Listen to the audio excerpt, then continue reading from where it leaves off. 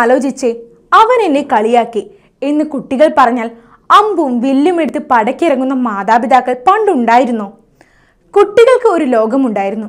ഒന്ന് പിണങ്ങി തിരിഞ്ഞ് നടന്നാലും ഒരു കിളിപ്പാതിയോ കല്ലുപേനയുടെ ഒരു മുറിഞ്ഞ കഷ്ണമോ കൊണ്ട് എളുപ്പം കൂട്ടിച്ചേർക്കാമായിരുന്നു ഒരു സുന്ദര ലോകം. ഒരു നല്ല രക്ഷിതാവാകുക എന്നത് ഇന്നത്തെ കാലത്ത് അത്ര ബാലികേറ മലയാണോ? എന്നെ ഒരു നല്ല രക്ഷിതാവാക്കുന്നത് എന്താണ്? കുട്ടികൾക്ക് അടിസ്ഥാനപരമായ ആവശ്യങ്ങൾ നിറവേറ്റി നൽകിയാൽ മതിയാവില്ലേ? മാതാപിതാക്കൾ എന്തൊക്കെ ഉത്തരവാദിത്തങ്ങൾ നിറവേറ്റേണ്ടതായുണ്ട്? രക്ഷകർത്തൃത്വത്തിൽ ഞാൻ കൂടുതൽ പഠിക്കേണ്ടതുണ്ടോ?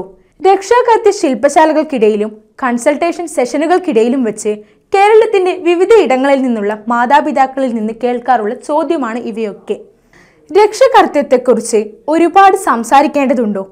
അതൊരു സ്വാഭാവിക പ്രക്രിയയല്ലേ? എന്നിങ്ങനെയുള്ള ചോദ്യവും ഇത്തരം പരിപാടിക്കിടെ ഉയർന്നു വരാറുണ്ട്. എന്നാൽ നല്ല രക്ഷിതാവ് ആവുക എന്നത് ഇന്നത്തെ കാലത്ത് അല്പം പഠിക്കേണ്ട പ്രവൃത്തി എന്ന് തന്നെയാണ്. നല്ലൊരു കേൾവിക്കാരനും നല്ലൊരു കൂട്ടുകാരനും നല്ലൊരു അധ്യാപകനും നല്ലൊരു വഴികാട്ടിയും എല്ലാം ആകണം ഓരോ രക്ഷിതാവും. അപ്പോൾ രക്ഷിതാക്കളുടെ ചൊറിച്ചിലുകളും പരിഭവങ്ങളും പൊട്ടിത്തെറികളും എല്ലാം കുട്ടികളുടെ മുന്നിലാവരുത് അറിയുക അവരൊന്നും ശ്രദ്ധിക്കുന്നില്ല എന്ന് കരുതണ്ട. ചുറ്റിലും നടക്കുന്നവ അവരുടെ അബോധ മനസ്സുകളിലേക്ക് പകർത്തപ്പെടുന്നുണ്ട്.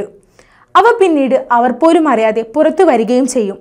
ചില നേരം കുട്ടികൾ മുതിർന്നവരുടെ അരോചക വർത്തമാനം പറയുമ്പോൾ അത്ഭുതപ്പെടേണ്ട.